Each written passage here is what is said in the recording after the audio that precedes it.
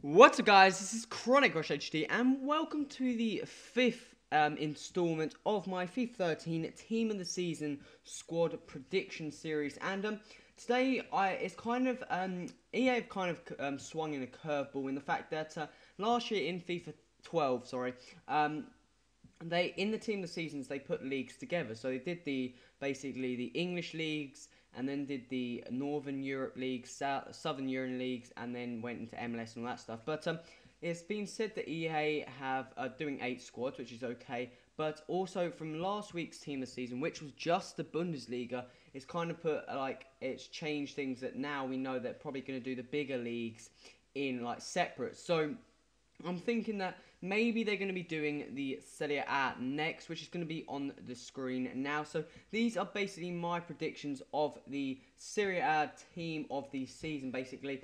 Um, I've got statistics for all the players. I've looked at um like some uh, I'm not sure uh, websites and companies have done their own like football um, statistic websites and stuff like that. Um, football magazine magazine sorry have done their own team of the week predict um, team of the season prediction. Sorry, so um, I've kind of had a look at them as well to just see how close my team my predictions were as well. I'm not really a big follower of the Serie A. I'm always once in a while checking the results. Obviously, if you guys don't know, Juventus absolutely stomped it. Um, a bit like Bayern Munich, um, they just absolutely terrorised the Serie A.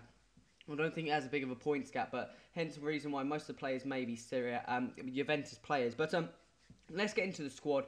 And as you can see here, uh, these are the, my predictions, my predictions on the ratings, and also the subs. I haven't actually changed their um, player stats on the cards. They just changed their main ratings. So remember that when we get onto them. But um, in goal we have Buffon, the Juventus goalkeeper, starting keeper. Um, he's play. He's got 16 clean sheets, and um, Juventus have got 19 clean sheets in total. So he's played a very, very um, big and important role in there um, 19 clean sheets, hence the reason they're so dominant in the Serie A. And he's got 74 saves, which isn't the biggest amount, but still a decent amount of saves.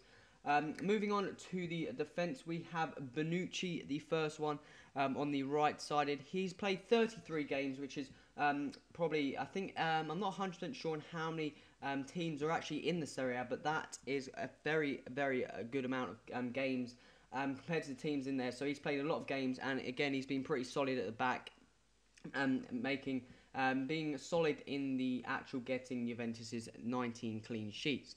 Moving on to the second centre back, we have Barzagli. I'm not 100% sure on these pronunciations either, etc. The Italian ones and stuff like that. I'm not very good with that stuff, but um, um, he's got one assist and 14 clean sheets. Again, he's played like something like 32 games, 33 games, and he's also been in six of the Serie A Team of the Weeks. Um, not related to the FIFA Team of the Weeks whatsoever, um, EA Team of the Weeks, sorry, whatsoever, just the um, Serie A League itself. He's been in six of them. He's got one assist and 14 clean sheets. Again, participated in Juventus's 19 clean sheets this season.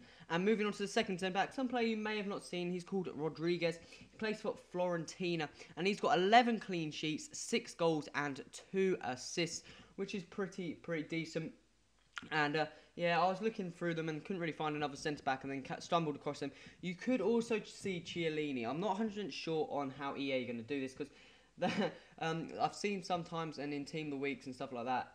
They, they obviously want your money and all the coins, so they're going to put the better players in. So um, I think in one of the Team of the Weeks, Thiago Silva, he got like a, I think he may have got a goal or something, a man of the match, and um, they gave him in the Team of the um, Team the Week, sorry, and uh, he probably didn't deserve it compared to the other players. But um, they may put Chiellini in. He's he's had a decent season. I think he's had been out and not played as many games, been out a bit injured and stuff like that. Uh, but um, he still played a fair few games, got a fair few clean sheets for Juventus. But uh, if they're going to do that system and trying to get coins, they're definitely going to put Chiellini in because he's probably one of the better centre backs in the Serie A. So that's just my opinion. Um, that's why um, uh, what's he called? Chiellini isn't actually on that starting eleven, as you can see there, or in the subs. It's just a note that maybe he could be there, could be not there. My opinion, he's not. He doesn't deserve to be there. He hasn't played that many games. Well, I wouldn't say deserve, but he hasn't played as well compared to the other um, options. Moving on to the CDM, shall I say. Um, the first one is going to be Arturo Vidal, the Chilean um, Juventus player, and he's an absolutely fantastic player in FIFA, and he's had a really, really good season. He's got 10 goals, 8 assists, and been absolutely solid defensively, and he's been in five Team of the Weeks um, for the Serie A. Uh, he's got uh, two inform, no, one inform card as well in FIFA, and he's also in the Team of the Year predictions from the website or football magazine goal.com. So um, go and check goal.com. That's kind of hard to say, but uh, go and check goal.com for um, their prediction of the team of the week. And uh, he, he was placed in there the same as um, uh, Barzagli as well. He was placed in their predictions as well. But uh, I think he's going to get an inform card, uh, team of season card, and he's going to be a fantastic player. Already, he's an absolute star in the CDM, and I would love to pick him up. But he may go for quite a bit. Moving on to the second holding midfielder, shall we say, we have Pirlo, the um, legend himself, should I say. He's got five goals and the seven assists, and he's just been uh, made so many. Uh, I think he's got an exceptionally high um, successful pass rate or something like that. He's just had a really, really good season. Um, uh, I, there's not much else to say. He's just had a good season, um, contributed to many of the goals, passing it, just been pretty solid in the position he plays in. Moving on to the right mid slash right wing spot, um, we have Eric Lamela, 15 goals and five assists, which is pretty pretty nice. He's, he's got he's more he's kind of like um, a winger plus striker in that area, but um, still 15 goals, very very good, and five assists. That is decent as well. Very very good um, performance by him. Moving on to the left mid slash left wing position, we have El Shaarawy, the AC Milan young um, star who's going to be coming up. Uh, absolute talent he is. 16 goals and 4 assists. So um, he's been in six team of the weeks as well. And he's also in the goal.com team of the season.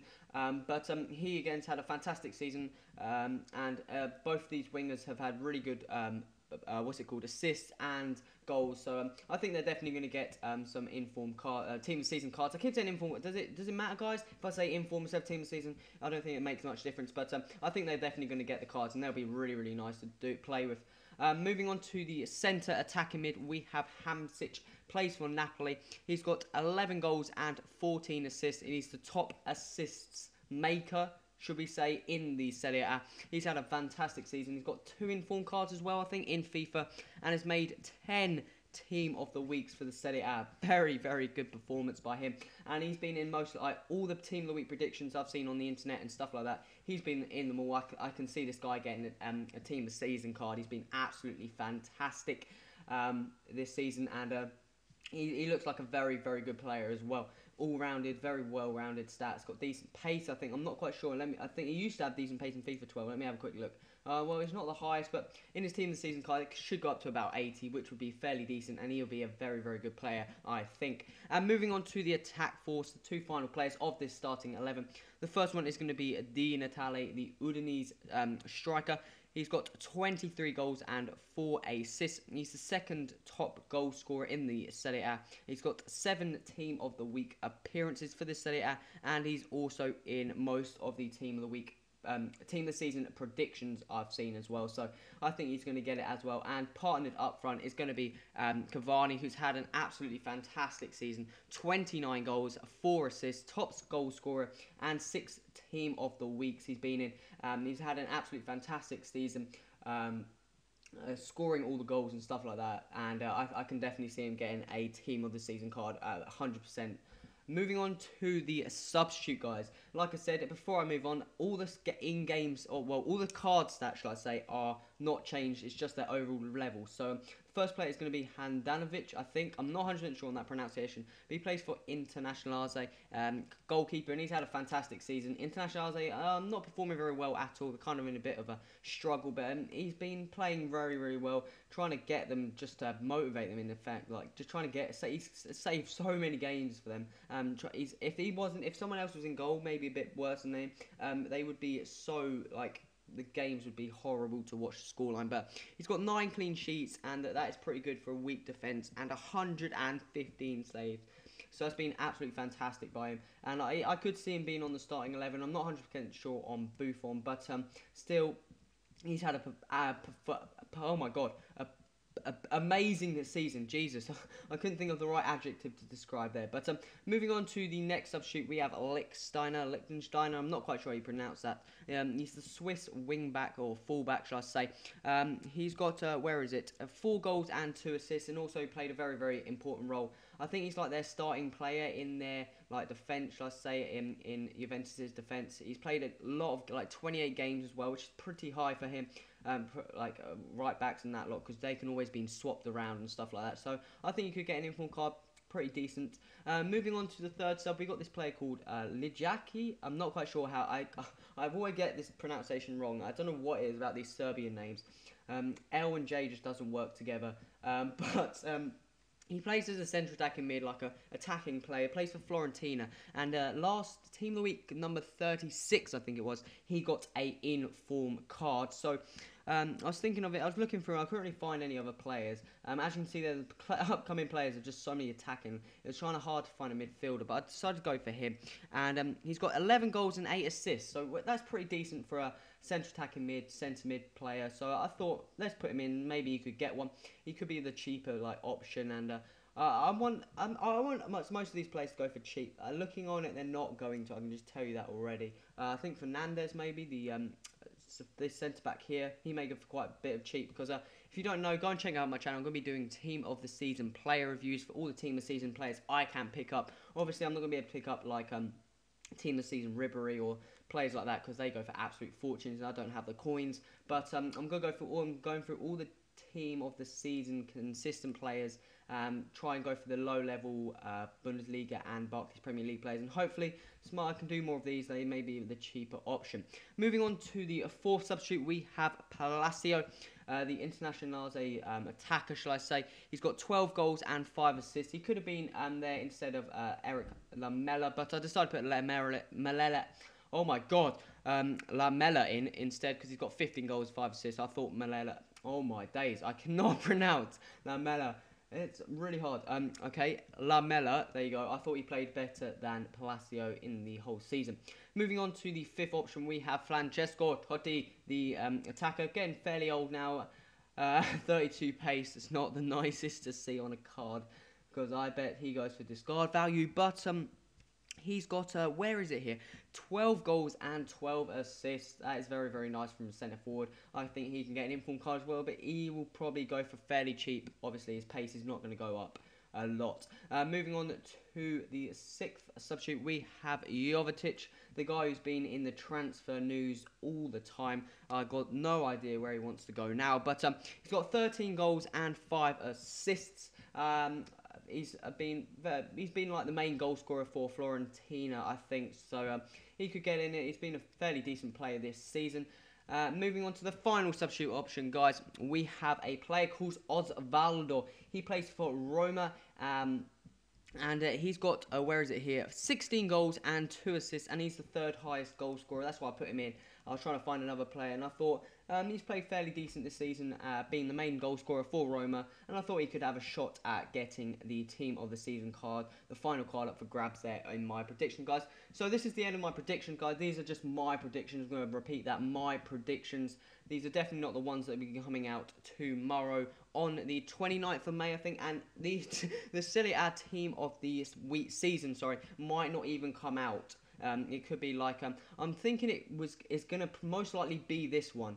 Um, uh, or it could be the French one. I can't see it being the Liga BBVA one because that um, league hasn't actually finished yet. Um, the Barclays Premier League and Bundesliga have finished, so they're done, and um, their team of the season come out. I'm not quite sure what they're going to do. Um, they could um, like I'm I'm thinking they're going to like uh, I'm not quite sure. They maybe put um, tomorrow's team of the season all into like all the rest of Europe.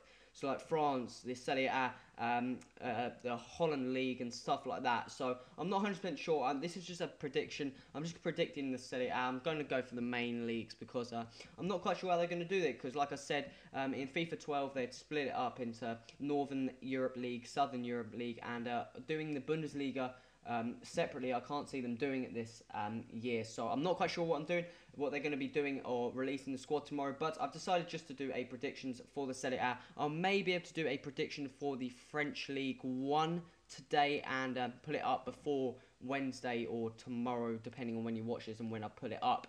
But um, I've also got a team of the week number 37 coming out, which I think is going to probably be the last team of the week. I'm not 100% sure, but uh, most of the leagues are finishing off. Um, uh, the League of BBVA have got one more game. I think the uh, French League have finished now. I'm not 100% sure, but um, basically, I haven't got enough players to do a full squad, shall I say. But uh, I've got the players that could be in there, possibility. Mainly, most of them are of BBVA, um, French League, and MLS, and that's about it, guys. So go and check my channel out if you want to have a look at who may come out tomorrow in the team of the week. But um, guys, this has been Chronic. If you've got any suggestions, any players that could be in this squad, uh, put that in the comments. And um, remember to subscribe for upcoming episodes um, for my more team of the season uh, predictions and the final team of the week prediction I'm thinking. So guys, this has been Chronic HD. Till next time, adios!